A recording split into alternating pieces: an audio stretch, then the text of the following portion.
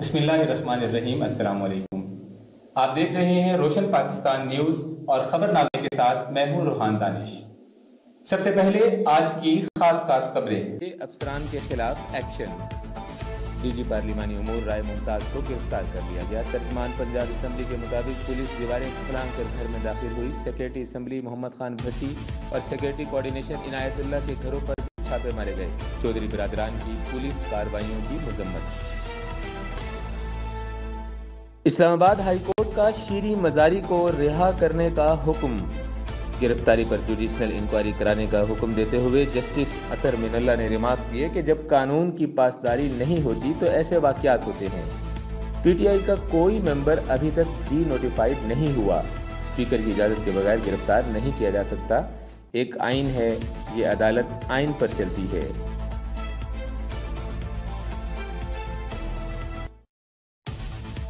दिन डेढ़ बजे मेरी गाड़ी को रोका गया। पुलिस वालों ने कहा, गाड़ी से बाहर निकले, बात करनी है।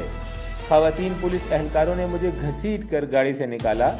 एक सादा कपड़े वाले एहलकार ने मेरा मोबाइल फ़ोन छीन लिया, जो अभी तक वापस नहीं किया गया। मेरी गिरफ्तारी के पीछे राना सनाउल्ला और शहबाज शरीफ हैं, श्री मजारी का अदालत में बयान। शीरी मजारी को फासिद हुकूमत ने अगवा किया chairman PTI Imran Khan. Tweet में कहा कि हमारी तहरीक मुकम्मल तौर पर पुरअमन है इम्पोर्टेड हुकूमत मुल्क को अनारकी की तरफ़ धकेलना चाहती है। उन्होंने कहा कि शीरी मजारी एक मज़बूत और नडर खातून हैं, उन्हें डराया नहीं जा सकता। कहा, आज कोर कमेटी इजलास के बाद लॉन्ग मार्च का ऐलान करूँगा।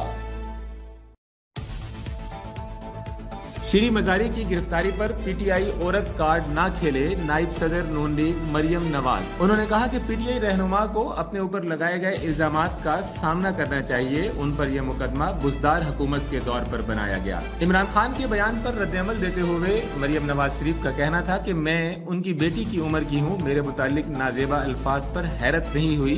इमरान खान के खिलाफ सियासी मवाद इतना है कि जाती हमले की ज़रूरत नहीं। गिरफ्तारियों की फहरिस्त तैयार। इमरान खान की गिरफ्तारी हो सकती है, शेख रशीद को खदशा। कहा, शेख मजारी की गिरफ्तारी इसी सिलसिले की पहली कड़ी है। हुकूमत मुल्क को अनारकी की तरफ़ ले जाना चाहती है, क्योंकि उन्हें डेढ़ साल की छूट नहीं मिली। उन्होंने कहा कि मुख्तर हल्के 31 मई से पहले पहले फैसला कर लें, वरना गाड़ी छूट जाएगी। खबरनामे से फिल वक्त इतना ही।